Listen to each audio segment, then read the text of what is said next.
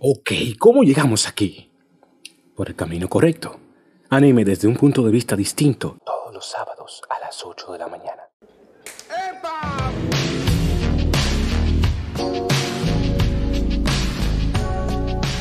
Estimar a alguien o algo por debajo de su valor.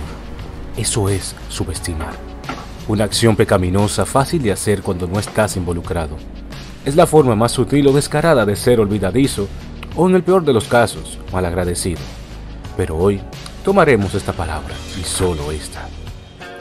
A veces entiendo el por qué se llega a subestimar.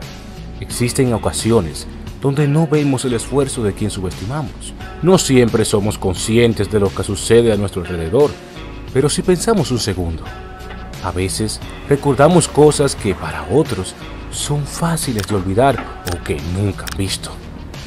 Estas cosas siguen siendo valiosas a pesar de su intimidad. ¿Y sabes qué? Eso puede suceder en muchos ámbitos. Tengo pruebas, sin ninguna duda. Así que relájense, acomódense, pero no se duerma porque hoy serán testigos de un relato nostálgico, valioso, pero sobre todo necesario. Kojiro presenta tres personajes subestimados en Dragon Ball Z. ¿En serio creo en lo que digo? Claro que sí. Y hoy tengo tres objetos que responderán por mí. El sol brilla con todas sus fuerzas para iluminar uno de los peores momentos en el planeta Tierra. Los guerreros provenientes del planeta Villita buscan las esferas del dragón y también a un Saiyajin que según sus datos se crió en este lugar. Estos dos obviamente no tendrán sus objetivos de manera sencilla. Un grupo de seis guerreros suponen una amenaza a sus planes y es aquí donde Nappa utiliza el primer objeto, una semilla que representa el fin de algo muy importante, el honor de un guerrero. Un humano de poder llamado Yamcha acompaña a los guerreros Z. Su confianza por los entrenamientos que tomó es comprensible, pero no hace de su actitud algo inteligente. De los seis, tan solo bastó uno para darle fin a su vida como guerrero. La pelea que más estaba a su favor fue la más humillante de todas.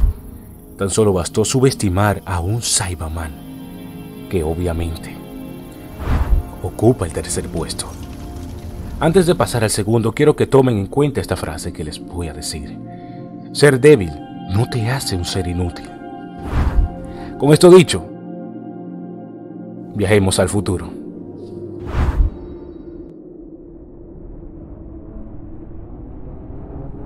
El cielo sigue resplandeciendo para presenciar momentos difíciles y también personas valientes. Esto es Namekusein y este es Krillin, un terrícola que busca las esferas del dragón. Y es obvio que se encuentra en problemas. Es aquí donde el segundo objeto hace presencia. Un trono. Y claro que sí, está ocupado. Este es el gran patriarca personaje que al escuchar a Krillin menciona algo que para esa época era imposible de pensar. Ese Saiyajin del que me hablas es un Super Saiyajin, ¿verdad? ¿Eh? No entiendo. ¿Qué quiere decir con eso? A pesar de equivocarse de persona, fue el primer Namekusein en mencionar esta palabra. Sin embargo, una acción mayor que esa le bastó para quedar en la historia. El gran patriarca despertó el poder oculto de ese humano que busca traer a la vida a sus amigos, convirtiéndose en el último personaje en mejorar las habilidades de Krillin. El terrícola asombrado toma la mejor decisión de su vida. Lleva al joven Gohan, el hijo de Goku, para que haga lo mismo con él.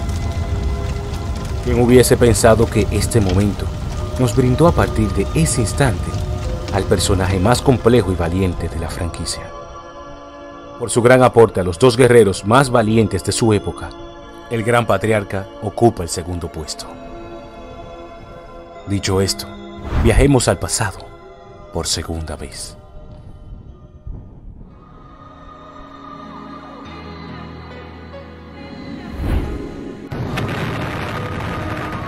La Tierra está siendo testigo de un combate increíble uno de los dos guerreros que buscaron las esferas del dragón, lucha contra aquel Saiyajin criado en la Tierra, que por fin apareció. Un joven sencillo, que en estos momentos es la última esperanza del planeta. Aunque esto exactamente no son buenas noticias. Una estrategia magistral hace del perdedor un depredador. Goku, elegido y responsable de cuidar lo poco que queda, dio todo hace un rato. De ocho guerreros, solo quedan cuatro. Y de ellos, solo uno puede hacer algo significativo. Y adivinen qué, así lo hizo. Tercer objeto, espada. Goku acaba de ser rescatado. La Tierra vuelve a tener ventaja. Todo eso gracias a un personaje bastante interesante.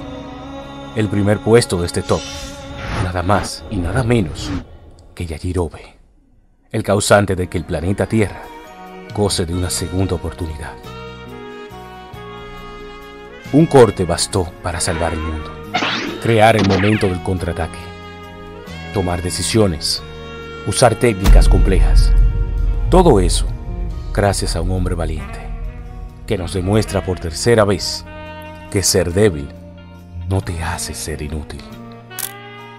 Señoras y señores, hemos sido testigos de un relato nostálgico, valioso, pero sobre todo necesario. Estos son tres personajes subestimados en Dragon Ball Z.